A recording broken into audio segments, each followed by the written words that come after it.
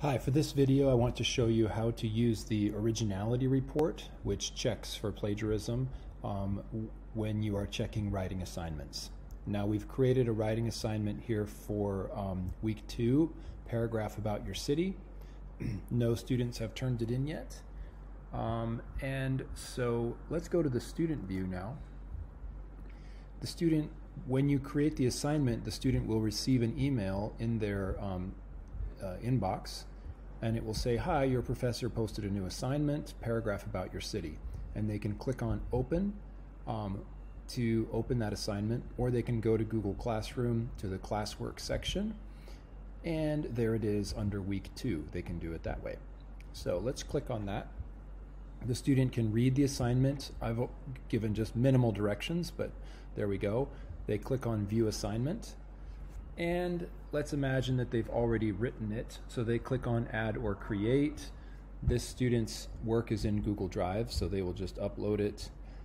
Now they need to upload it in um, Google Docs format so that they can check for plagiarism. Now the student has a choice where it says originality reports, they can run their own originality report and check for plagiarism themselves. Some students do that, some students just ignore that. Um, let's imagine that this student ignored it and they just clicked on turn in. And they're going to turn it in even though they did not run their originality report.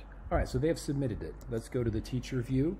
Now it says one student has turned in this assignment. So we click on that.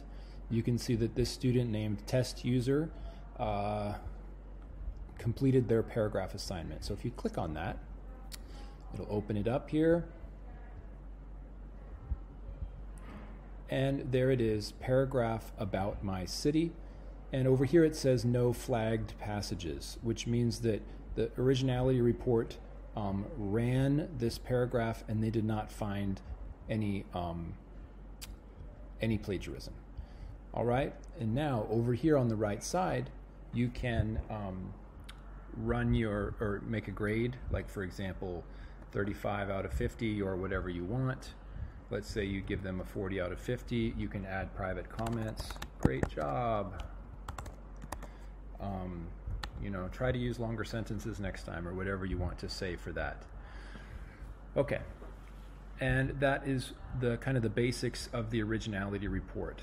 Uh, I will do one more video about the originality report showing one that has plagiarism and see what you can do from there. Um, in the meantime, Let's imagine that they get a 40 out of 50. You post a comment if you want to. When you and you post the comment right there, then you click return and the student will immediately be able to see their grade. So Mr. Test User, let's go back here. English 101 checks his classwork. He goes down here and it says graded. So you can click on view assignment and he can see his grade 40 out of 50 right here. The student can also go to the classwork section and then it says view your work and they can see the list of assignments and their grades right there.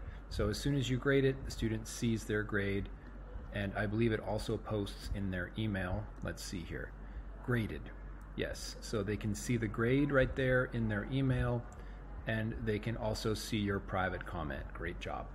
All right, so that's a bit about grading, writing written assignments, and using the originality report. And we will do one more. The next video will be about if the student actually does plagiarize.